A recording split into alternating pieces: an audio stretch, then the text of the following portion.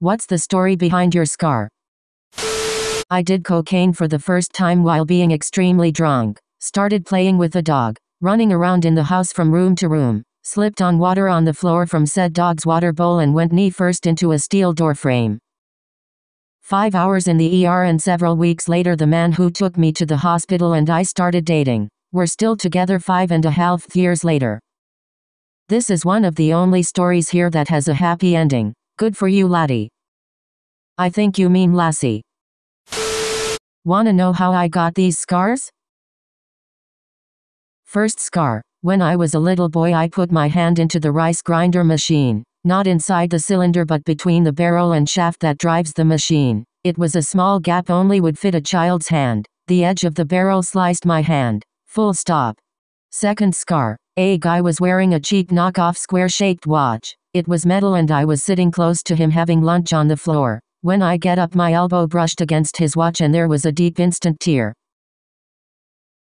Third Scar. My dog's name is Scar. We adopted him. You can find his picture in my account. I have pinned it. Because a scar stays with you forever? No, because if you give it enough bio oil it will fade away. Do you mind? I'm trying to do wholesome dog here.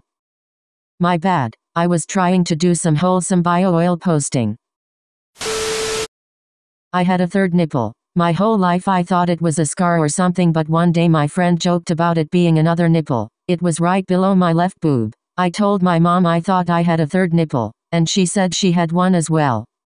She showed me hers that looked like a tiny mole. I showed her my third nipple and she immediately said, yeah let's get that removed. Doctor said there was a little bit of breast tissue and if I got pregnant I could have produced a little bit of milk. Yikes. Same. Ish. Left side too. Changed color while pregnant, but didn't produce milk. Sixth grade me thought I could catch a football that was flying over a fence held up by a T-stake 40 stitches later I learned that fence played some great defense. You could even say it played some great defense. Pizza burn, pizza burn, pizza burn. Drunk bruise four-wheeler crash. I've been in pizza for nine years. How big is this pizza? We sell slices from a 22 inch. Our largest to go is 18 inches. Shattered my spine skydiving while celebrating being 2.5 years cancer free. This is so sad. Hope you're doing well now. I'm so sorry to hear what happened. Congratulations on being cancer. Not want to be a dick here but there is a typo you should fix. I guess autocorrect is to blame. Congratulations on being cancer the new greatest response to certain kinds of people. I ran into a mirror as a small child thinking I had met a friend. Edit. Thank you for my first silver kind stranger. So much purer than I expected. And sharper. What was your plan? To just run into the friend? As the owner of a couple of small children, I can tell you with confidence that there was no plan. As a former small child, can confirm. Planning was never a thing. Me also being a former small child, I can confirm I never ran into new friends. Skin cancer. Kids made fun of me for it in elementary school so I had surgery done. It's a shape of a heart now. 8 eggs. Got sick with salmonella. Do not recommend. Ended up in hospital. Tried to get up to go to bathroom on day 4. Immediately fainted. Hit head on the corner of something on the way down. Hard. Get back in bed feeling sleepy. Have nurses and husband yelling at me to stay awake. Woke up next day with a 1.5 inch long cut on my temple. The scar looks like my husband's into all so he jokes he tattooed me while I was passed out. His into all? His initial. Is that what you mean? Brutal story. In any case. Yikes.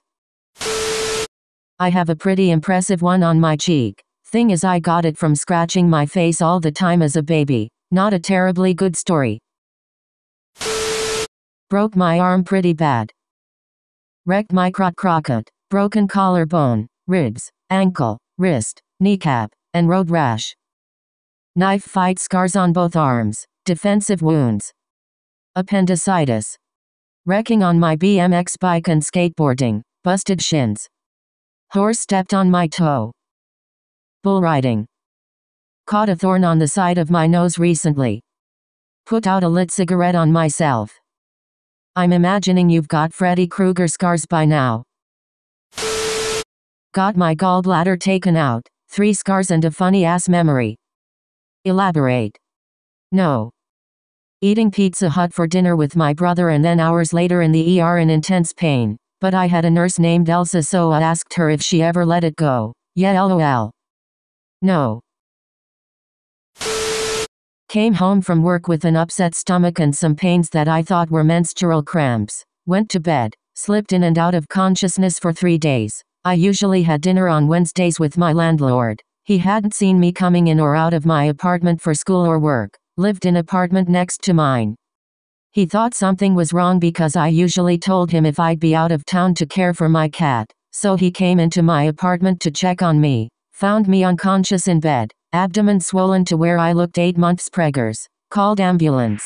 Get to hospital and come to an excruciating pain. All blood tests came back fine they couldn't figure out what was wrong. Called my mother. 4 hours away. Still in emerg waiting room. Lack of space due to flu outbreak. When mom arrived, she gets them to do all sorts of test scans and whatnot. Had emergency surgery. Turns out my appendix had ruptured and I was going into septic shock. Flatlined on table. Had out of body experience heard and saw things that only my mom and the nurse who came to talk to her knew about. Remove a bit of my intestine due to rotting from poisonous fluids. They thought CERB was successful until one week later when it all starts happening again. Had to reopen me to remove more poisonous fluids turning things internally gangrenous. Fast forward to a grueling one month in hospital and a year of recovery. I am still alive. Sorry for poor formatting as I am on cell. This is a very long story and I cut out a ton of details but you get the gist. I had a very similar experience. I woke up in a hospital room, with a DR telling me how lucky I was to be alive. Parents never fixed the side table and were too broke to take me to hospital. Do you wanna know how I got these scars? Yeah, I just asked you. Father was a drinker. Didn't his wife had an accident or something? Kind of sad but I have a scar on my left forearm. Just going to say that I had a really dark time and in one of my episodes around December 2018 nearly at New Year's Eve I pretty much cut myself. Pretty simple and straightforward but yeah. I also have another scar on the right side of my stomach. When I was about 6'8 yo I can't remember it's been so long. There was a bush I'd climb on like the agile lil monkey boy I was. I was really into climbing whilst my parents were out dining right in front of the bush where the restaurant is. I somehow managed to slip my hands and impale myself on the branch. I can remember hanging from it for a few seconds and began crying. Everything after that is like a cloud I can't remember what happened. The memory might as well be lost because of the trauma plus me being a small B0I. Picture this. I'm 12 years old. Parents are in the garage talking to some people. I go in with a can of Chef Boyardee beefaroni in my hand. Me. Mom. Can you open this for me? Mom. Not right now. When I'm done talking. Runs into kitchen. D eat breathe me. I'm gonna be 13. Surely I can be an independent young adult and make my own food reads instructions on how to open on top of can. Pushes tab in can and pulls halfway. Hum. This is a tough can. Guess I'm gonna have to use two hands. Places right thumb directly onto ducking sharp edge of lid proceeds to lift out lid and ducking slits his right thumb ducking deep. Looks at hand and sees blood everywhere. Calmly walks into garage. Me. Ah. Mom. Mom. W hat do Y-O-U-Y-N-T from me. Pain.eggs has joined me. Call 911. Literally what I said word for word and it was the funniest call for help looking back at it. Pain.eggs is using 100% CPU would you like to shut it down? Everyone thinks I tried to commit suicide by cutting my wrist. Fuck no. I fell off from a mountain. Instead of a car hit me at landing my wrist got stuck in a tree branch, saving me from the cars in the street. Tried to use my phone while riding downhill on a bike my forehead broke my fall. Dust. I am gonna be up all night trying to understand what this means. Take your time. I had scoliosis and had a titanium rod screwed into the majority of my spine to correct it. It's a pretty awesome scar and people always ask me to see it. Wrecked my bike trying to impress a girl and slide across a two lane street on the left side of my face. I was stabbed in the leg with a sword.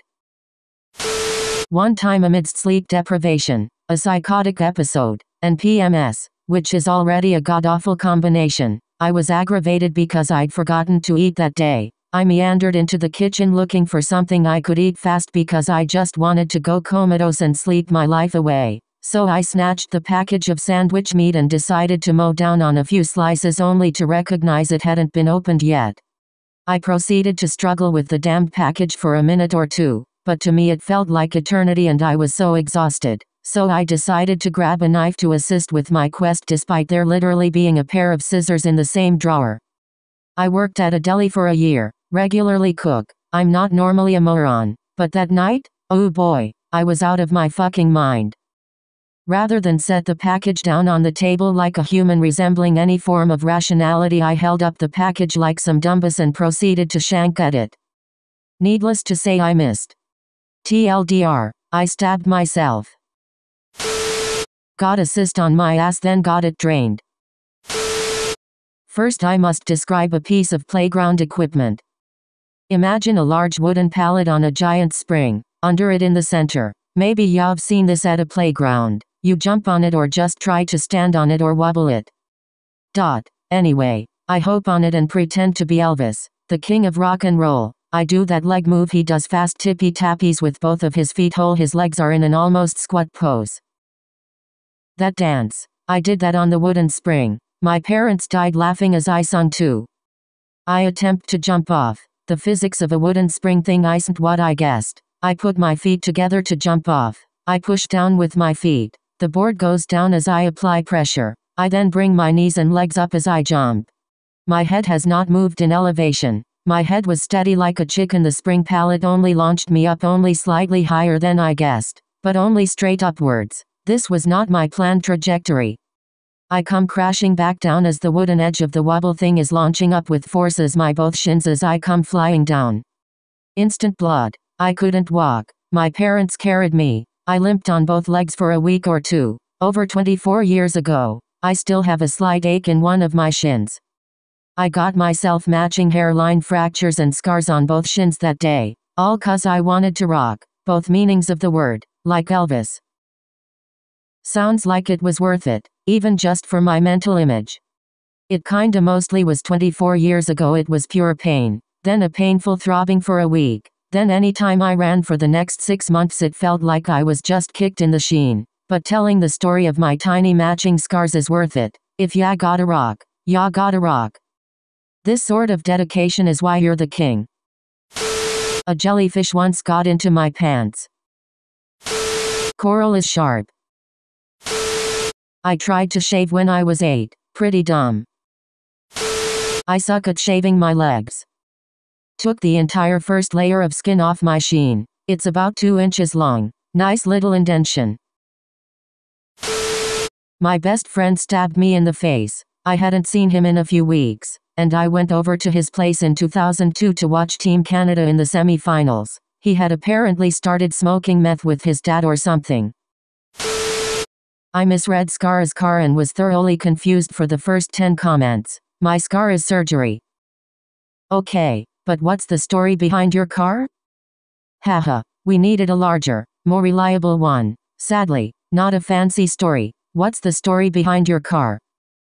I've got a hand-me-down from my grandma. The door handles are missing and the radio is busted, but it's fine. One night about four years ago I got a chance to see my best friend from my high school years again and catch up with him. We spent the night at his parents' house out back talking about the good old days and everything we had been through in that time of our lives. It was a hard time for both of us. We ended up talking in depth about the true unspoken hurt we both felt at those ages but never really spoke of. Both of us had had our mothers attempt suicide when we were 14 and never discussed it as kids, but we ended up realizing as adults that we leaned on each other at that time of our lives because our families were incapable of being there for us. We had a few drinks and really broke down some barriers that we had kept up from when we were younger, which to be honest is something that both of us rarely do. We came from families of men who bottle their hurt, Anyways, at some point in these talks, it came out that the only reason we didn't end up killing ourselves in our late teens was because we had each other to lean on. We loved each other. We survived together. We grew up together. We decided to commemorate this breakthrough emotional night with something to remember it by. We grabbed a big 18 inch grilling fork and out it into the fire we had been sitting by all night. It sat in the fire for 30 minutes before my friend grabbed it up and we decided to put two hash marks on each of our upright arms. He took the glowing red forks and held it against my skin for a good long while. Then I did his arm. Then we proceeded to go over them two more times. It seared and sizzled like crazy from what I remember. Reading over this it sounds so goddamn stupid and I can't really explain why it felt to write at the time. I don't regret the scar or the night. When I see the big scar it reminds me of how tired I felt as an 18 year old kid.